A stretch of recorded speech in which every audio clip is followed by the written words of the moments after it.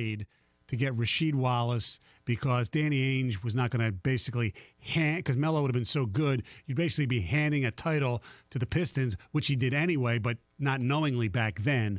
Also, and if that trade doesn't happen, you don't get uh, you know Lindsey Hunter and uh, Mike James and all that kind of stuff that, that took place as well. So I believe that if they would have drafted Carmelo Anthony, they would not have won the title in 2004. However, they might have won a couple of others and they would have been better for a longer period of time.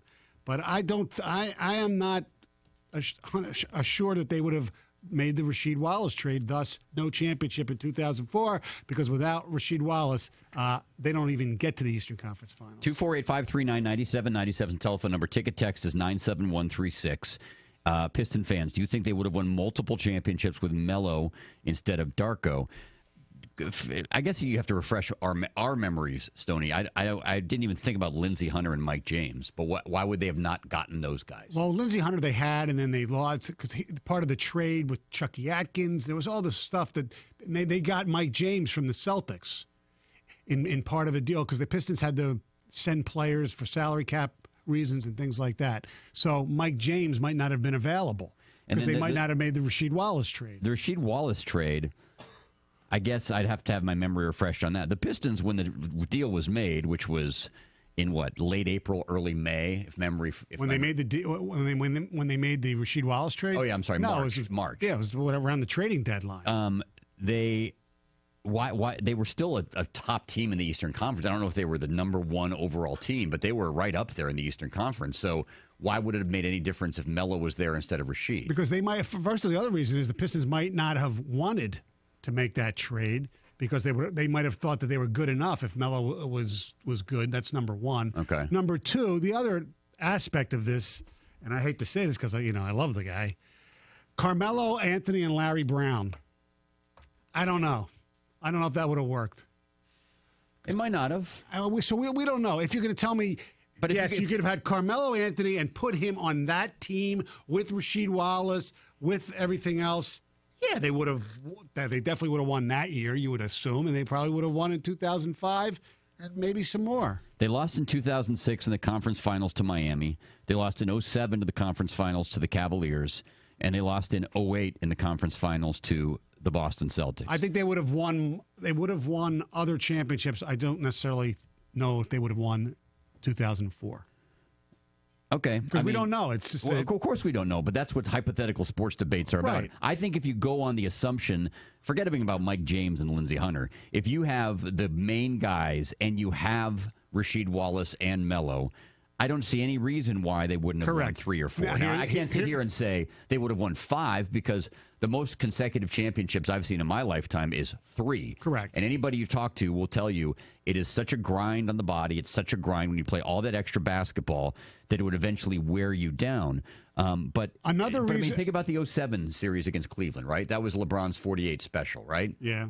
Melo's not letting that happen. Now I know Melo's not a defensive stopper, but Melo would have gotten into a scoring battle with LeBron down the stretch. Probably. You would think that would work well if, if flip if they would have flipped the switch. He, look, here's the other thing about Rasheed though, in, in the favor of Tayshaun's claim. If they don't make the Rasheed trade, and let's say they don't win 2000, 2004, they re-sign Mehmet Okur, and he becomes because he became an even better player, obviously, when he left the Pistons. So they could have won without Rasheed. I don't think they would have won that year, though. Okay. So Stoney is agreeing with Tayshaun, but disagreeing with Tayshaun Prince.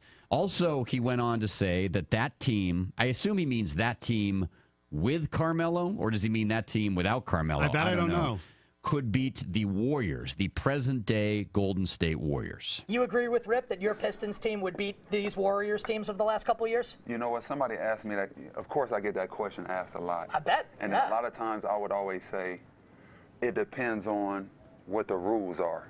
Because mm-hmm. back when we played, we could play hands-on, physical, and you know, as you can see, some of the Pacer rivalries and all the rivalries we had back in the day, when we were scoring in the low, high 70s, low 80s, we were physical.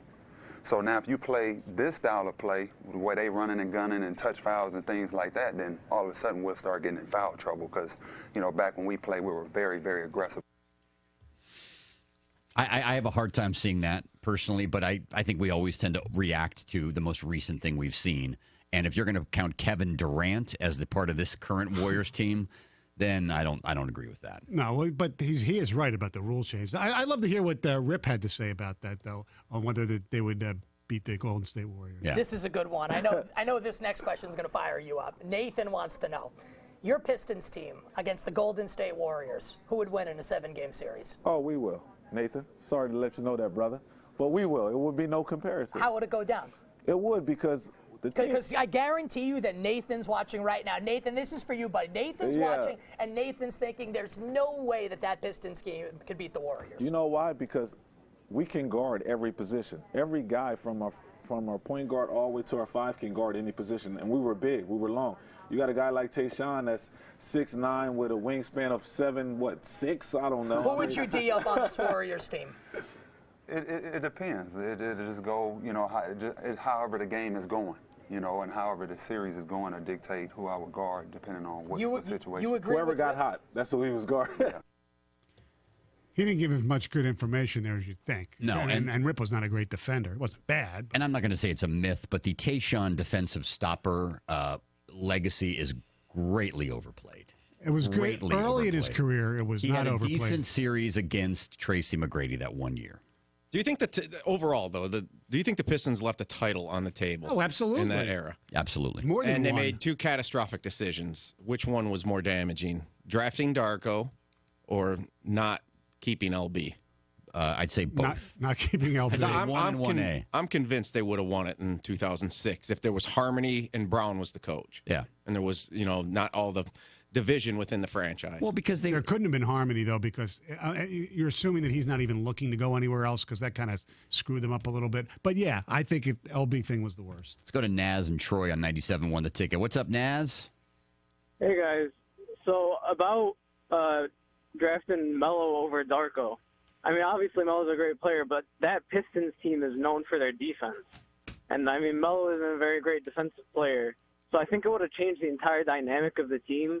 And I don't know if I mean it's hard to predict these things, but I'm I'm not sure we would have won that year or any of the following years. Well, you know, it's funny you say that, Naz. I don't know if anybody re- ever read Bill Simmons' book of basketball, but one of the, you know, he goes through some of the great what ifs in basketball history, and one of them is the the Darko pick, and he argues the other way, right? I mean, most people say, "Oh, how could you make that pick?" But he argues it was a good thing for the Pistons because it did not throw off their chemistry, and it did allow them to get Rasheed Wallace, like Stoney was talking about.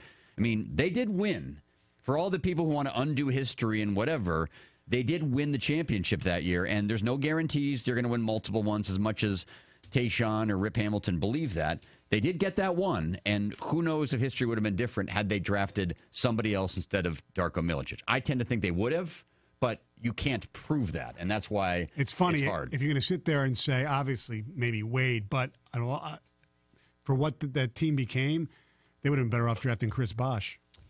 248 539 9797. Ticket text 97136. Jamie, Stoney, 97 won the ticket. Guys,